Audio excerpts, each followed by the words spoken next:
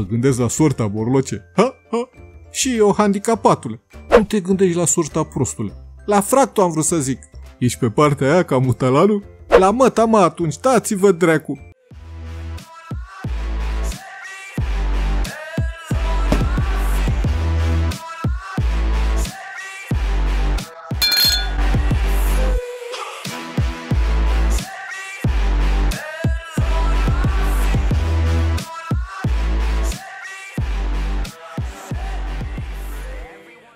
Hai salut, eu sunt Gigi. Băi frate, una dintre diferențele mari dintre generația anilor 90 și generația actuală este accesul la informație, de la televiziune până la cel fără de care viața din ziua de azi nu ar mai fi posibilă, pentru majoritatea dintre noi, internetul.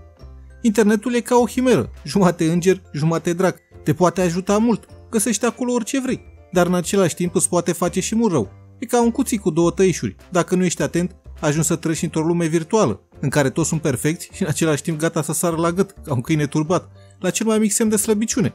E ciudat, frate. Am ajuns să fim toți lumi moraliști, îmbrăcați în haine de oaie. În fine, pe internet găsești ce vrei și nu vrei. E plin de femei goale și filme XXX. În anii 90 nu era așa. Mai vedeai un decolteu pe la TV, un crack de diva autoproclamată, mai erau reviste gen Plaiul cu boi, dar erau greu de achiziționat. Și cam atât. A, mai erau câteodată și filme erotice la TV, asta puțin mai târziu. Noroc cu Mucea că mai aducea câteodată o revistă, o lua de la frasul sau alți prieteni mai mari. Ce face aia cu aia doi Gigi? Îi ține de cal, morloce. Cum, mă, că văd că e dezbrăcată. Au făcut o sandwich, mă. Ce foame, Mucea, ce sandwich visezi? Nu, mă, femeia e carnea, ăia doi îi dă smântână. Pe dracu de scârbos, face sex cu ei. Cu amândoi odată? N-are cum. Are dreptate ăsta. Cum dracu Gigi? Nu vedeți că unul e în față și altul în spate? Unul la scoică și altul la ochiul maro, la MS-DOS. Ha, ha, n-am înțeles nimic. Îți zic eu mai târziu. E simplu, mă. Unul o bagă în p*** și altul în c***. Se poate așa ceva? Prost ești, morloce. Ha, ha. Da, frate. Și undeva prin vacanța de vară, dintre clasa a 6 și a 7 eram la garaj la tata. Nu mai lucra acasă, se mutase pe altă stradă și eu trebuia să stau acolo, de când mă trezeam, de pe la 10 până la vreo 7 seara. Ajunsesem la poliție în urmă cu câteva luni și eram pedepsit. Am stat toată vara la garaj acolo, de luni până sâmbătă. Acolo o plictiseară mare, frate. Nu făceam nimic toată ziua. Citeam ziarele de 5-6 ori, mai vorbeam cu domnul Mielu când avea treabă, mai mă plimbam cu bicicleta pe stradă, venea mai mereu șerca la mine. Odată a venit și caponarul, era să ne rupem amândoi oasele pe drum, dar asta e altă poveste. Da, frate, și în afară de tata și domnul Mielu, mai lucrau acolo Lică, unul mustăciosu și Sandu. Dar toți îi ziceam Sandy Bell, că era mai defect puțin. Sandy Bell ăsta stătea acolo, el îi închiriase garajul lui tata. Și din când în când mai și lucra. Dar de obicei stătea degeaba, se uita la televizor și la filme pe video. Înainte să continuăm, vreau să mulțumesc personal celor doi membri Tigru, Dalimac.ro și Siren. Puteți să aruncați un ochi și la canalul lui, poate vă place ce găsiți acolo. Dacă îți place povestea, lasă și tu un like, frate. Dacă nu ești abonat, apasă acum butonul de subscribe. Răspunsul la quizul de data trecută era A, om de afaceri. Primele 5 comentarii cu răspunsul corect și încă 5 alese aleatoriu sunt acum afișate pe ecran. Vrei să ai și tu o șansă? Fii atent la următorul quiz. Cum se numea revista pe care o vindea Bulldogul? A. Level B. Terra sau C. Capital? Lasă răspunsul repede în comentarii. Ai 5 secunde.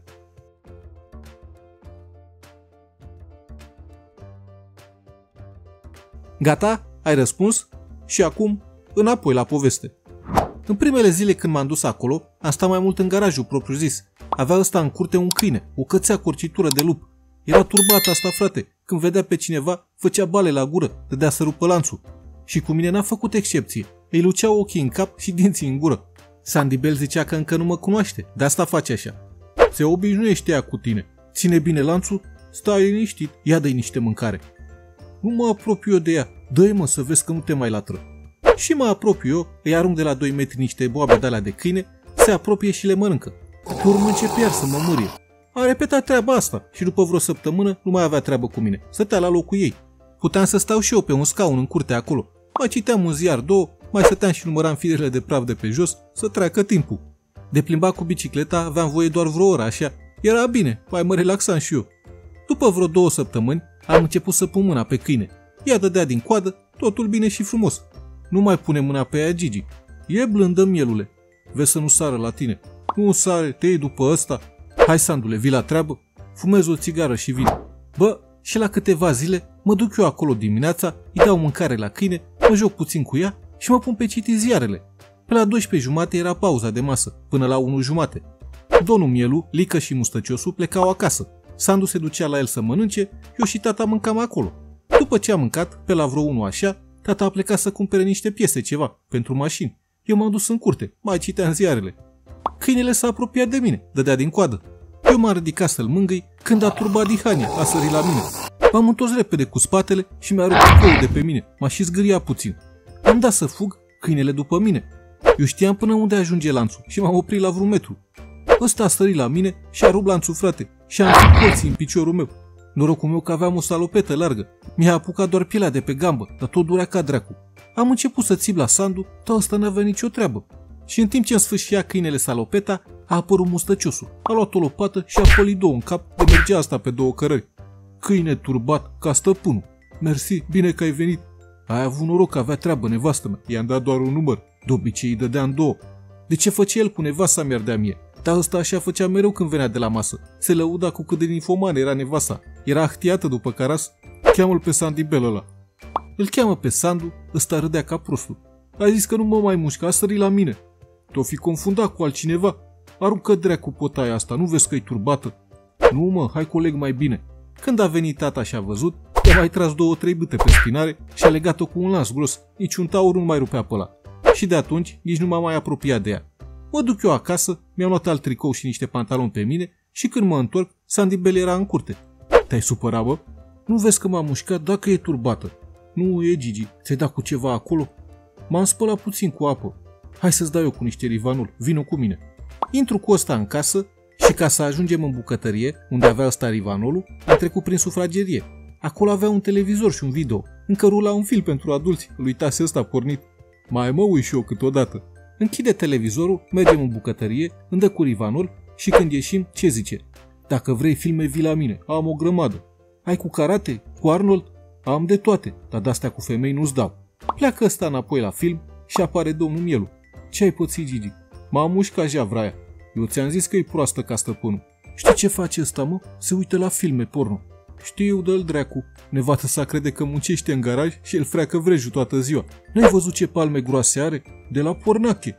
În fine, vine sâmbătă și o vorbise cu Mutalanu să iau câteva casete cu filme de la Sandu să le vedem la ei, că noi nu mai aveam video. Nici ei nu aveau, aveau un văr de-a lor și îl luau de la ăsta, stătea în aceeași curte cu ei.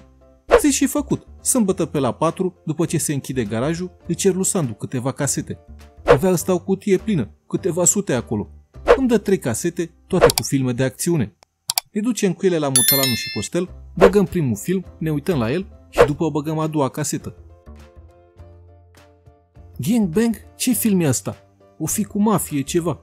Sau de la polițist și alea sunt marfă. Dar începe filmul și nu era deloc ce credeam noi că e. Era film XXX pentru adulți. De acțiune era plin, vreo 5-6 pe una. Au tras ea cu pistoalele în ea până a făcut o prăjitură, plină de cremă și la interior și pe din afară. Noi ne uitam în cremenițe acolo, parcă era mai interesant ca un film cu karate, nu scoteam niciunul niciun sunet. La un moment dat se aude ușa, sare mutalanul repede și scoate caseta. Era măsa. Ce faceți băieți? Ne uităm la un film. Hai că mă uit și eu, dai drumul. Băgăm altul, mamă, abia s-a terminat ăsta. N-a avut curaj nu să bage a treia casetă. A băgat-o tot pe prima. Ne-am mai uitat încă o dată la primul film. Ne-am uitat, e mult spus, că noi ne derulam șina de gangbang în minte. Am plecat de acolo în trei picioare, dacă înțelegeți ce vreau să zic. De la Sandu ai luat tu Gigi? Da, mă, el mi-a dat oare multe. Când trebuie să o duci? Mâine, așa am zis. Și știa ce e pe ea? Nu cred costele, le-am curcat carcasele. I-am dus casetele a doua zi și când ne-am întors, era și morlocul acolo, venise și el. Hai, salut, morloce. Salut, mă! Unde ați fost? La ăla unde lucrează tata. Luase Gigi niște casete de la el. Era una cu gangbang. Cu ce, mă? Nu știi tu, mă, e pentru oameni mari. Zi, mă, și mie. Cu femei goale. Hi, hi. Îți mai dă? Vreau să văd și eu. Nu știu, el a crezut că e alt film. Mai încearcă să-i cer, poate îți mai dă. Și crezi că o mai nimerim pe aia? Și alta dacă e. Ia 4-5, se nimerește una. Aia era marfă. Gang bang. De ce mă, că erau mulți bărbați? Hi, hi. Rai al dracu de Pinocchio. Vrei să te bat? Îți plăceau carașii lui mutalane? Dați-vă dracu de proști. Să vezi ce-ți o iei soro. Și vine vineri și îmi zice tata că pleacă la țară sâmbătă seara. Rămânem singuri acasă. Eu imediat m-am gândit la caseta cu gangbang, să vorbesc cu Sandy Bell. Vorbesc cu ăsta și ce când a doua zi casete. Când ajung acasă, vorbesc cu ăștia să-i ceară videoul vărsul, să ne uităm la casete la noi. Nu, ni-l dă Gigi, nu lasă Tasu.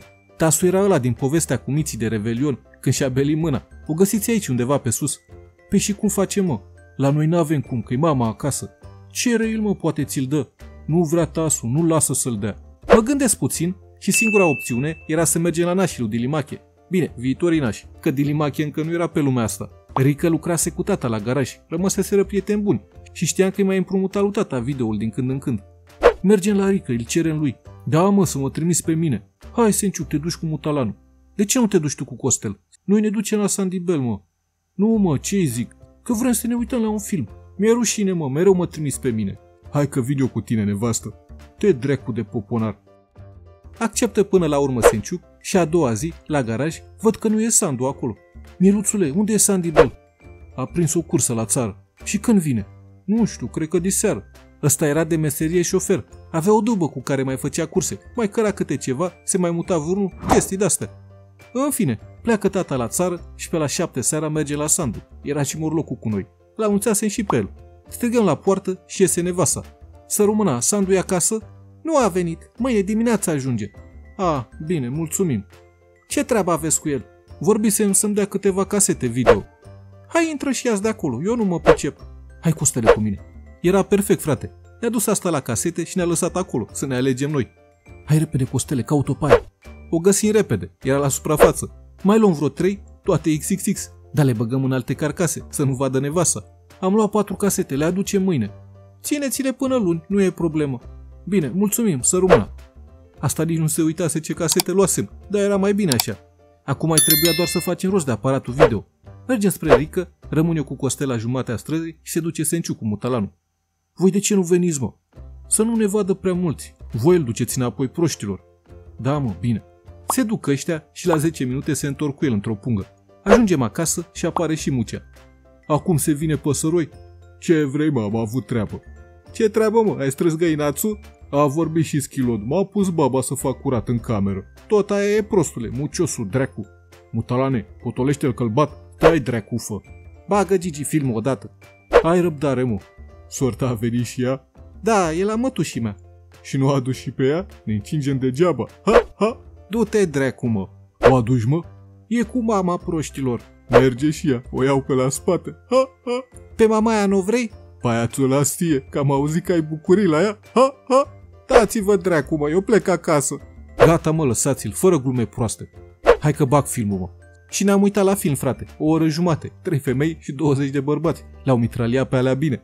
Ce-i face săraca, o moară? N-are nimic, mă, e obișnuită. Dacă era sorta aici, nu mai scăpa. Mergea și măsa, mă. Dar măta nu mergea, mă? E urât aia borloce. Ha, ha. Ana și Barangă erau bune. Și Garofița. Du-te și cheamă-le mutalane. Hai cu mine, Sânciu. Ești nebun, mă, nu vin alea. De ce, mă? Le dăm câte 2 lei. Tai cu minte că te bate și tasul, mă. Lasă-l, bă, să se ducă. Mă duc eu la garofița, aia vine sigur. Stați dracu, mă, că am glumit. Sunteți nebuni? Atunci eu mă duc la wc Stai mult, mă, că fac pe mine. Nu, mă, mă eliberez repede. Mă gândesc la sorta, borloce. Ha, ha. Și eu, handicapatule. Nu te gândești la sorta, prostule. La fractul am vrut să zic. Ești pe partea aia ca mutalanul? La măta, mă, atunci, stați-vă dracu. Bine, mă, și eu tot la măta. Ha, ha. Pleacă Mucea, își face treaba, îl urmează Costel, Morlocu și toți sperând. La patru ore și ceva, când ne-am uitat noi la filmele alea, am fost fiecare de 4-5 ori. Marfă, mă, filme bune. Când mai sunteți singuri, Gigi? Nu știu, mă, vedem noi. Să spui din timp să vorbesc cu alea. Și le aducem la tine, mutalane? Nu, nevastă, la voi. Să intrăm noi la belea, la voi sau la Mucea. Dacă adorm boșorăgii, le aducem la mine. Și dacă vine și sorța lui ăsta la noi, hi, hi. Te bas scobitoare. Ia du tu pe verișoara ta. E mică, prostule. E de vârsta mea. Dacă o aduci pe sorta, o aduc. Îți aduc bomboane la colivă. Sare Costel la gâtul lui Morlocu, Morlocul la gâtul lui, gata să se ia la bătaie. Îi despărțim noi. Stați dracu mă, s-a umflat tărâța în voi. Bă, până la urmă nu s-au mai bătut ăștia. Cel puțin nu atunci, dar asta e altă poveste. Am dus a doua zi videoul și casetele video și planul cu gangbang-ul a rămas în picioare. Undeva pe la sfârșitul lui noiembrie am încercat să-l punem în aplicare, dar asta vă spun în povestea următoare. Până atunci, dacă v-a plăcut povestea, nu uitați să dați un like, un comentariu și un share. Și subscribe dacă încă nu v-ați abonat. Apăsați și clopoțelul pentru notificări. Ce putem învăța din această poveste? Pe ai grijă la câini, frate. La fel ca și oamenii, unii te mușcă chiar dacă îi hrănești. Și Sandy Bell avea casete video bune rău. Până data viitoare, ne întâlnim când o vedea. Hai pa!